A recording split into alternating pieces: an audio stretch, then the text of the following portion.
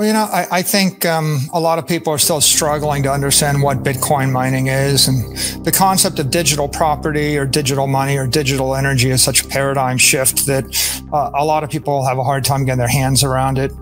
Uh, I think that um, the real, the critical idea to understand, of course, is that we have a way to use energy and technology to create digital property.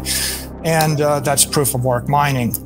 Uh, and then once you understand that, then everything else follows.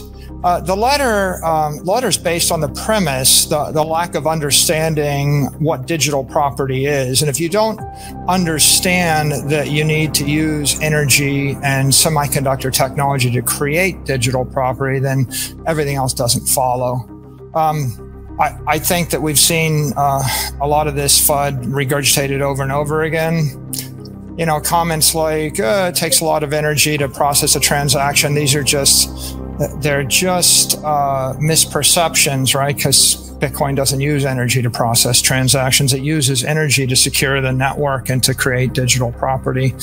But, um, you know, I've said if you don't spend 10 hours, you, you know, you probably don't even understand what it is. And if you haven't spent 100 hours, you don't decently appreciate it. So most of the people in positions of power are being forced to have an opinion, but they don't have the time uh, to study the underlying technology. And so they, they don't always pick up on the technical nuances, the ethical nuances and the legal nuances that cause the Bitcoin community to embrace proof of work. I think the most important thing to be said is that Bitcoin mining is the cleanest, most efficient, most valuable use of energy in the world. Full stop. When people stop and they think about how we use energy, either any kind of energy, whether it's uh, sustainable energy or fossil fuel energy, you know, you realize you need it in medicine and retail and hotels, and you need it in planes and trains and automobiles and banking, and you need it in schools, and it's used in defense. It's used in everything of any consequence in the civilization. And in every place the energy flows, it's dirtier than Bitcoin mining. when it flows into Bitcoin mining, as Darren said, it just flows into a data center, and what you're getting is security for hundreds of billions of dollars of assets. In essence, you're just buying security for the network and integrity such that you can create a digital asset that, that is uh, censorship proof, nation state attack resistant, corporate attack resistant. And another way to say that is you've created tangible digital property that you could expect uh, to exist in a, with integrity over the course of hundreds of years. So that's the part that's just not understood. And everything that follows in the letter is, of course, just wrong, right? right? The use of energy for transactions, the, you know, the potential to generate any kind of waste, all of these things are just silly assertions because if you understand that uh, Bitcoin mining is used to create digital property that you can move at the speed of light on a computer in cyberspace, right? Once you understand that, then then uh, everything else kind of falls into place. And and uh, if you're an environmentalist, then of course every other thing in the universe is worse for the environment than to create a block of digital energy everything, right? So, so curtailing the creation of digital energy or digital property via Bitcoin mining is pretty much attacking the cleanest, most efficient, you know, most uh, valuable use of energy in the world. I think that uh, that a number of politicians have their own opinions on this, and they'll speak for themselves in in uh, in short order uh, with their own communications. So I would expect that something uh, will actually be delivered to the EPA from Congress or the Senate. That's good to hear. Darren, going to you. When it comes to Bitcoin and the political movement, you both know that I'm pretty active in pushing this forward in the United States. But do you think that as an industry, we are pushing hard enough? Do we need to push even harder? Do we need to be more active? Or do you feel like where we're at right now is a good place? Since I've been involved uh, for the last decade, I, this is the, the largest groundswell of attention and activism in in support of proof of work and Bitcoin that's ever taken place. So we're on a, the trajectory is positive. The outcomes are positive. The involvement with the community is positive. We see institutional uh, support. We see government support. We see the the SEC support. Uh, it would be really difficult to have predicted this five or six years ago that that the institutions, the government, the the White House administration would put out an executive order uh, talking about how important digital assets are for the future of technological advancement in America.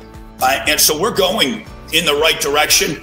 And all of it is going to be predicated on continuing to educate people as to the facts about this network, what it is, what we're doing, what a miner is, what the network does.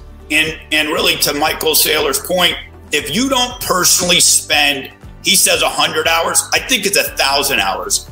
I think you have to spend a thousand hours on this network, learning it, digesting how complicated it is. If you spend two hours on this and you make a statement regarding this network, you're going to look foolish. You're going to look completely foolish. And if you have a staff and they tell you to say something and somebody else told them to tell you to say it and nobody did any independent research on it, you're going to look foolish. You have to do the research on this network. It's it is a massively complicated system and because at the base root of it we have an accounting technology that's immutable. So this is the first record of any type of transaction in human history that can never be altered. This accounting functionality changes every single system in the world. And if you think that you're going to understand that in a in you know a 30 minute seminar, you're wrong. And so it's really important. And and as Saylor says, and we all say, this is the most important innovation technologically for finance, for economics and accounting that's ever taken place in the world. It's very important for you to do your homework before you go put forth letters. Uh, your, you know, especially representatives that represent citizens that elected them to office. Uh, those citizens want you to be uh, knowledgeable about this space. A majority, somewhere somewhere 20 plus percent of Americans own some type of digital asset, and the number's growing. The number's growing. There's somewhere around 50. It's it's estimated somewhere between 45 and 50 million Americans own Bitcoin. Uh, those voters, those those those holders of digital assets, they're all voters. They're very active, and they're they're very concerned uh, with the economic stability of America. They're they're all uh, proud to put forth their their thought process on how we can make this country better. And it's very important to make sure that they feel like you have their best interests at heart. And nothing says you don't, then nothing says you don't more than if you make statements about something that you really don't understand. So the most important part is to get educated. And it takes it takes some time. This is not this is not a simple read. Absolutely. When it comes to education, I, I have to say that one of the most valuable components uh, that I have in my life when it comes to Bitcoin was the three or four years that I took to learn about Bitcoin before I started to speak about Bitcoin. And I would encourage a lot of other folks to take as much time as possible to to learn about Bitcoin before they speak about it. Before we go, I got to ask you both one question, and I'll get one, an answer thing, from. If you have an ahead, if you have a PhD from MIT, you can spend hundred hours and then comment on Bitcoin. If you don't have a PhD from MIT, you need to spend a thousand hours on this industry and and educate yourself for a lot longer than than guys like Michael Saylor take. And so that that that's it. It really is about putting forth the effort to understand this technology. Is that the secret Saylor getting a MIT PhD before learning about Bitcoin? Is that part of your journey to learning so rapidly about this technology? We all know in the Bitcoin community, the secret is doing the work. Someone needs to speak up, collect a few facts, and explain to the world just how efficient Bitcoin mining is and why it's good for the world, why it's good for the environment. So I see um, each one of these opportunities is, as just another point where the world stops and they they get educated on Bitcoin. So I'm, I, I welcome the constructive engagement. Do hit the like button and do subscribe to our channel.